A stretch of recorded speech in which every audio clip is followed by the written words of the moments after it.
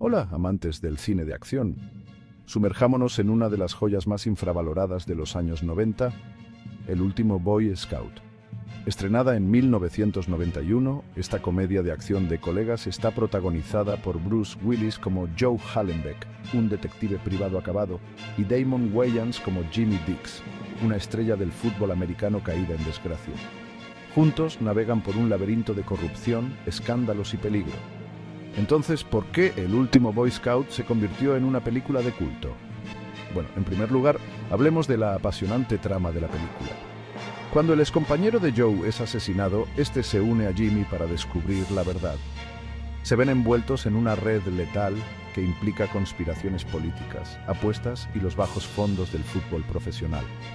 Enfrentados a constantes amenazas, confían en su ingenio y en un vínculo inesperado para sobrevivir. Pero no es solo la trama lo que te atrapa. La película está repleta de secuencias de acción trepidantes, diálogos ingeniosos y una buena dosis de humor negro. Explora temas como la corrupción, la redención y la improbable camaradería que se forma ante la adversidad. Ahora, vayamos entre bastidores. La producción de El último Boy Scout fue de todo menos tranquila. Dirigida por Tony Scott y producida por Joel Silver, el plató estuvo plagado de conflictos.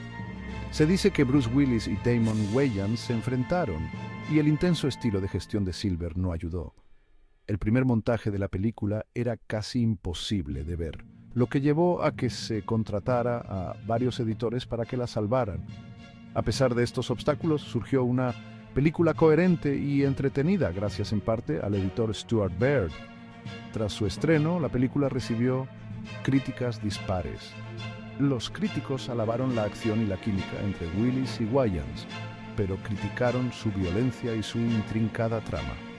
Recaudó más de 114 millones de dólares en todo el mundo, una cifra decente pero por debajo de las expectativas del estudio. Entonces, ¿cómo se convirtió en una película de culto? Con el tiempo, el último Boy Scout se ganó un gran número de seguidores en el vídeo doméstico y la televisión por cable sus diálogos memorables, sus personajes inolvidables y sus exageradas secuencias de acción conquistaron al público.